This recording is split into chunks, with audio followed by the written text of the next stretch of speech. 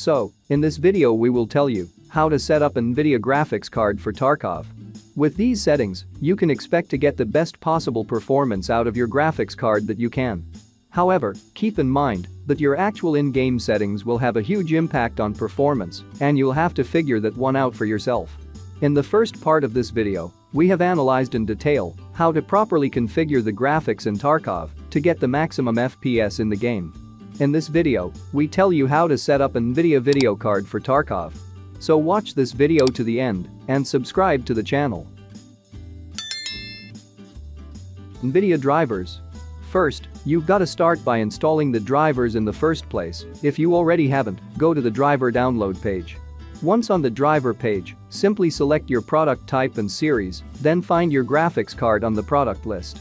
Then select the operating system you're using and set the driver type to standard. Finally, select Game Ready Driver as your download type and hit search. Now that you've reached the download page, hit download and follow the GeForce Experience installation. 3D settings. For the first setting, you'll want to start under 3D settings, adjust image settings with preview and click use my preference emphasizing. Then set the slider to performance. Then click apply. After clicking apply, under the same tab select use the advanced 3D image settings and hit apply again. Heading over to manage 3D settings now, we're going to change a couple of these, but leave most of them default. The first setting we'll check here is the CUDA, GPUs. Just double-click the word all and make sure that your main graphics card is the one checked, then click OK. This next setting is a little iffy, and you may or may not have it, but just in case you don't see it on your control panel you can ignore this step. Under maximum pre-rendered frames select 1. If you have a much older computer, you may want to drop it down to 3 or 4. Next, we have power management mode. Once again, click and scroll to prefer maximum performance then select it. For the preferred refresh rate, set it to the highest available setting. Set texture filtering quality to high performance. In our final setting, threaded optimization, just turn it on. All of the 3D settings are in place, now click apply to make sure they all, well, apply. Display.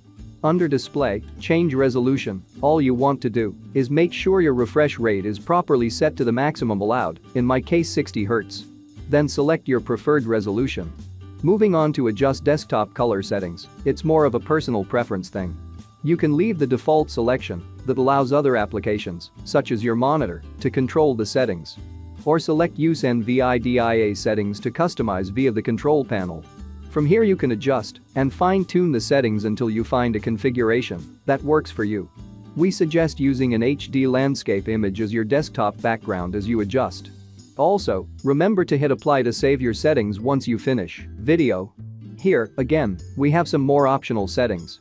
Though these aren't really for gaming. These settings are more for getting the best viewing experience out of videos and movies. Under color, you have an array of settings to play with, so just as with the desktop color settings you can adjust to your liking. The gamma settings are here if you really think you need them, but we don't suggest partaking. Here at the end, we have the advanced settings for dynamic range. This setting just allows you to choose the color range for your monitor. Movies will benefit from the full range, as with limited produces lower quality shadows and highlights.